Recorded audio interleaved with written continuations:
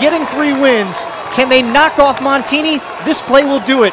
Slowik from midfield. Tons of time. Time runs out. Heaves it over the middle of the field, and it's going to be knocked down, and the Broncos survive. Fastball is incomplete. Montini wins, And that's the final. and the Broncos are going back to Final score, Champaign.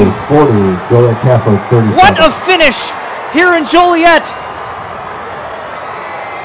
The Broncos fight back from two touchdown deficits twice to survive in the semifinals, and the streak stays alive. Chris Andriano going for number four next week. Game